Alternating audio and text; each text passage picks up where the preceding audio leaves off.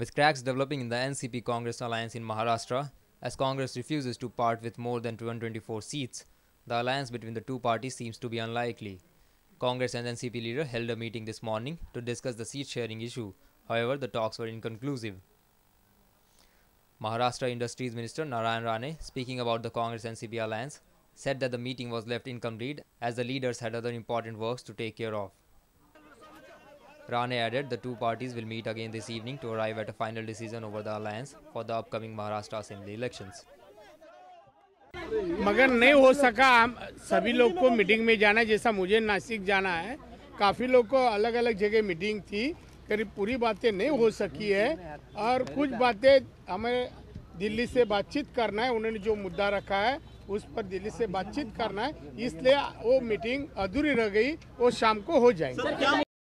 Powered by NNIS.